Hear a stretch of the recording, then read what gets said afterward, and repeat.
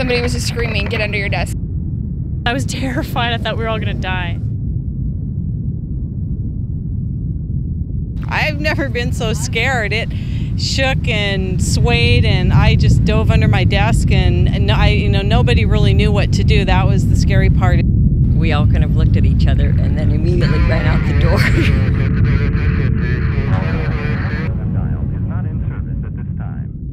On February 28, 2001, most people were enjoying themselves as spring offered its first warm days since winter. But this day would provide one more surprise many people were not prepared for.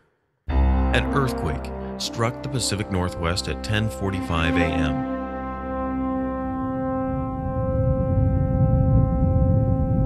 It had a magnitude of 6.8 on the Richter scale and was centered 35.7 miles south southwest of Seattle, Washington.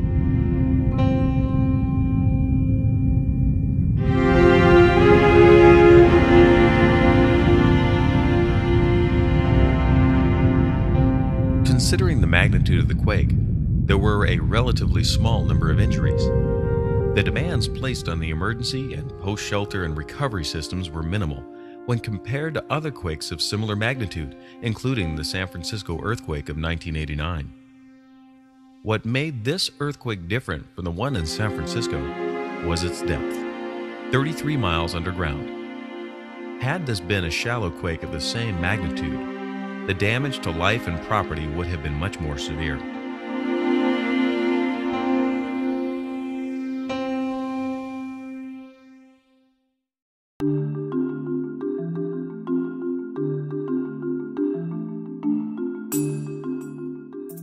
I was just outside the building actually, walking from the street to the building, and I noticed to my surprise that there was a car right next to me that was shaking violently back and forth. I was in downtown Seattle in the Bank of America Tower, 37 floors up. As soon as that started shaking, we all kind of looked at each other and then immediately ran out the door. and I was just like covered with needles and, and like had to open the door and stand in the doorway and one of the doctors came and hugged me because I was terrified. I thought we were all going to die. I was on the 16th floor. It's an all glass building, and I've never been so scared. It shook and swayed, and I just dove under my desk, and, and I, you know, nobody really knew what to do. That was the scary part, is that everybody seemed kind of unprepared, kind of unprepared. Geologists study seismic events in an attempt to explain how and why the Earth moves when it does. The shaking that startles the rest of us provides data for scientists to analyze. We spoke with Anthony Qamar from the State of Washington Seismology Center to find out more about the geology of our region why the Nisqually quake wasn't as devastating as it could have been. In different parts of the world, there are different plates that are moving relative to one another. Sometimes the plates move past each other horizontally. And a good example of that is down in California, where the San Andreas Fault marks the boundary between the Pacific Plate and the North America Plate. Here in the Pacific Northwest, and that includes Northern California, Oregon, Washington, and southern British Columbia, we have a different situation. We have two plates converging toward one another. And one plate, as it uh, bumps up against North America, uh, we call that plate the Juan de Fuca plate, actually dives beneath uh, North America and reaches depths of uh, 100 kilometers, so that's about 60 miles or more, before the earthquakes within that plate kind of peter out. So we have, uh, unlike California, we have deep earthquakes extending from the surface all the way down to about uh, 60 miles below the surface. Uh, we, we have to keep in mind that this is one type of earthquake that we have in the Pacific Northwest, one of three types. We also have very shallow earthquakes, like earthquakes that occur on the Seattle Fault, which could be more damaging because they occur closer to the surface. And then there's the infamous uh, subduction zone earthquake just offshore, which can reach magnitude 9, considerably larger than the earthquake uh, that we just had in February. At the time of an earthquake, much of what happens is uh, automated. Uh, we have so many seismograph stations, uh, a person cannot possibly monitor all these stations simultaneously. So we have a computer that monitors all these stations. So at the time of this earthquake, uh, some of the stations began recording the waves that arrived from the epicenter of the earthquake to the nearest stations. And then successively, uh, seconds later, the waves would arrive at the next station and so forth until the most distant stations in our network would have received all the data. And the, the computer, in the meantime, is processing all these data and determines the, a preliminary location and a size of the earthquake, the magnitude of the earthquake. Uh, at the same time, uh, the computer will actually send out uh, alert messages on paging systems uh, via email and so forth. So, for example, I was outside the building, my pager went off within a few seconds after the earthquake. The Alaska Way Viaduct is one of Seattle's major thoroughfares. Built in the 1950s, the viaduct was not built to current seismic standards. As a result, major structural damage developed in the days that followed the quake. To tell us more about the damage and the repairs needed, we asked Claudia Cornish from the Washington State Department of Transportation to explain the issues. One of the major pieces of damage we had in downtown Seattle was on a pier on the Alaskan Way Viaduct, which is where we're standing right now. Uh, it's a structure that was built in the mid 50s and it was not built to current earthquake codes. So we knew it was a seismically vulnerable structure to begin with, and of course it was a priority concern for us right after the earthquake. Uh, we did find damage to Pier 97, we call it, which is right at Washington Street, downtown Seattle. What happened was we have some joints that called knee joints that connect the vertical and horizontal um, supporting structure of the pier.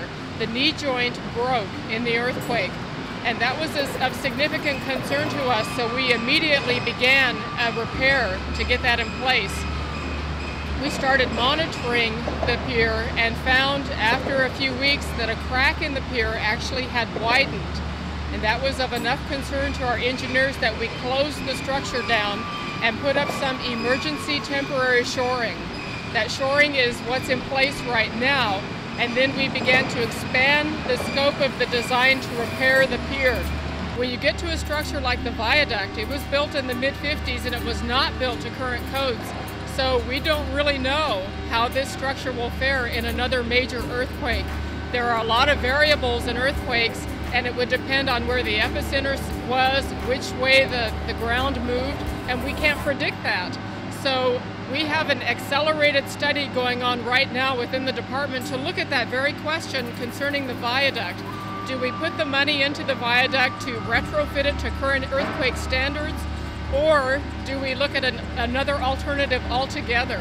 And our department is heading up that study, and we hope to have a recommendation to the legislature by early 2002. In the meantime, we're doing everything we can to ensure that the viaduct is safe and operational and we'll just hope that there's not another earthquake. Some may ask, how prepared is the Seattle area in case of another earthquake? Earthquakes can make entire buildings collapse. That's what brings us here to the Seattle Fire Department's Urban Search and Rescue Training Center. My name is Lieutenant Matt Rogers. I work on the uh, Seattle Fire Department Technical Rescue Team, and I'm also a member of the uh, Puget Sound Urban Search and Rescue Team, which is a multi-jurisdictional uh, search and rescue team, the same teams that were involved in Oklahoma City and other disasters around the United States. Search and Rescue locally, they focus on a bunch of different disciplines. Um, rope rescue, uh, confined space rescue, trench rescue, structural collapse, uh, things along those lines. Heavy uh, rescue, which is more or less crane rescue, rigging, stuff like that. We carry uh, several hundred thousand dollars worth of equipment that's uh, put together in a cache and we have the ability to palletize that equipment and put it back on a a C-141, a military plane, and transport it anywhere in the country. Uh, we, we carry heavy rigging equipment, we carry uh, search cameras, which are fiber optic cameras that we're allowed to drill into concrete and look into spaces that we normally can't look into and see if there's victims inside. We carry breaching equipment, basically, uh, uh, equipment to blast through concrete. For example, we carry torches. Uh, that's an exothermic torch. It burns at 6,000 degrees and we can cut through metal pretty quickly.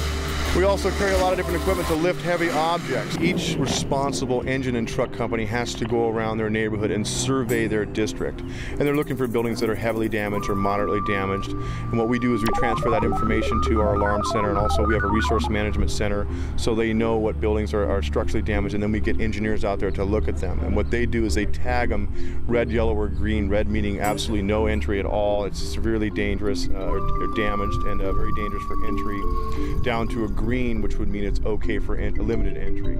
So they did that uh, quite rapidly in the Seattle quake, which really helped our operations. Well, during that day, we had a lot of fires uh, start up because of electrical shorts and also natural gas lines were breached.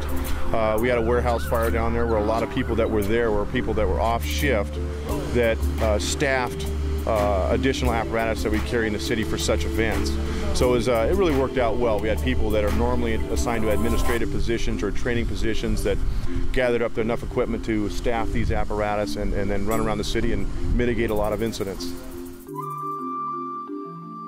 A good escape plan, understanding where you can shut off your power and your gas, and having plenty of uh, rationing available so you can sustain yourself for at least 72 hours is probably the key to keeping yourself uh, uh, okay and insulated from an incident like that.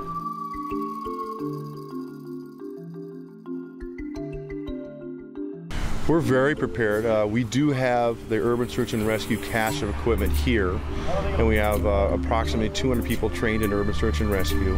All the local fire departments in the in the uh, Puget Sound area are very well trained in search and rescue and a lot of the technical disciplines we've talked about. Um, we have uh, uh, lots of, of caches of equipment. The hospital system is fantastic, where we have the uh, administrative network where we can determine uh, what patients are going to what hospital, uh, how much room that they have. Uh, the EMS system ties in real well with the search and rescue system, so we once we do extricate people, we know where to send them to get them to treatment the fastest. So the whole thing, I think that we've done a fantastic job here. And then also a lot of these structural retrofits that we've done lately have sure paid off, and you've noticed that. The areas that were hit the largest were the areas that didn't have a lot of reinforcement, and a lot of the older buildings that were reinforced uh, did very well. One can only imagine the challenges that lie ahead. But with professionals like the ones we've met here today, the chance for a better tomorrow shines brighter than ever. I'm Michael Fearnehough. Thanks for watching.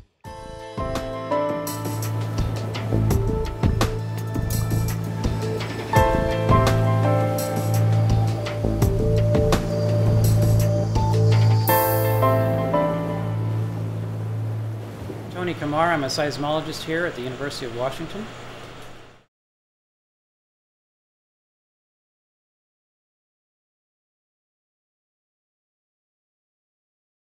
You can find more information at www.mbfproductions.com.